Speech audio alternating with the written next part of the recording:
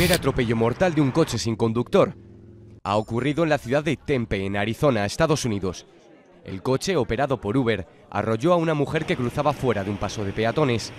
La policía investiga lo ocurrido porque en el coche, que en ese momento funcionaba de forma autónoma, había una persona en el interior, detrás del volante, y no impidió el atropello mortal.